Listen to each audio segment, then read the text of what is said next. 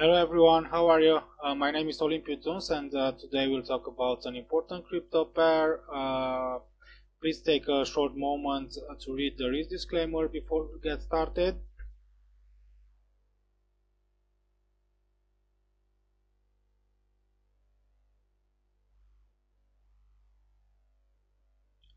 Okay, thanks.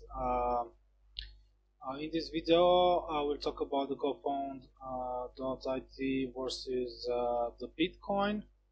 Uh, we'll talk about a bullish scenario if the price will uh, stay above uh, this support zone, support area. you can see that the price has decreased again after the failure to, to reach and retest the downside uh, line, this um, downtrend line. The price uh, increased a little here, but the, these failures to reach it uh, have sent the price down. The price uh, has found another uh, temporary support right above the 0 uh, 0.00 000711 um, and now uh, it has finally reached uh, the downtrend line okay?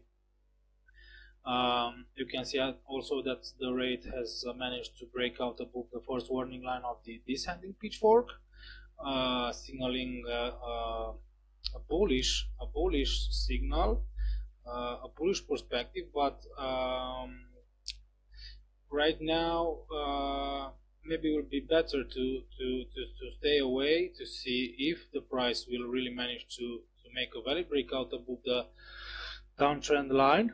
And um, if we'll um, continue to stay within the ascending pitchfork's body okay?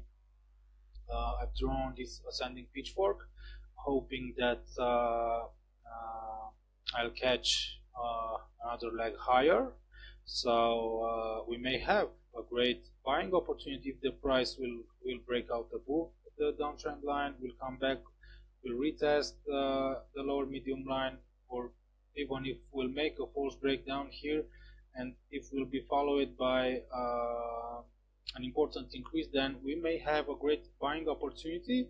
The stop loss could be placed here below the mentioned uh, static support and below the uh, downtrend line, uh, the first, uh, the first and the, the, the, the major upside, the first major upside target will be here at the medium line of the ascending pitchfork, but the price would uh, found uh, a temporary resistance also at the downside 50% Fibonacci line of the ascending pitchfork okay?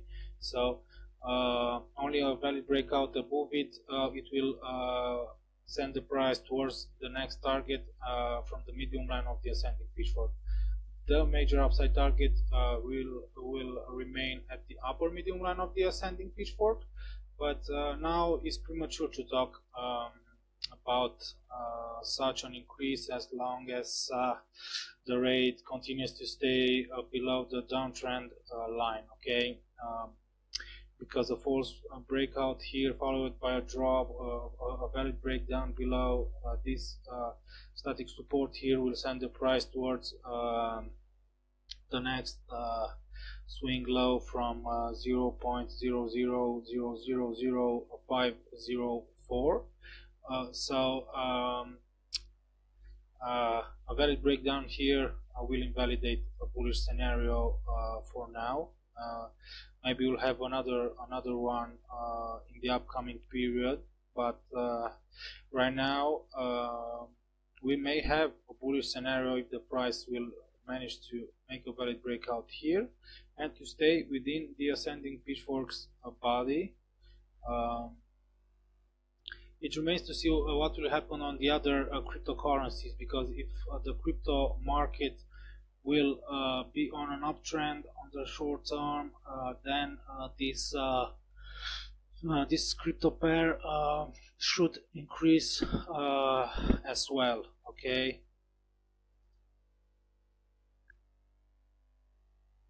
Okay guys thank you for watching this video in the crypto pick section.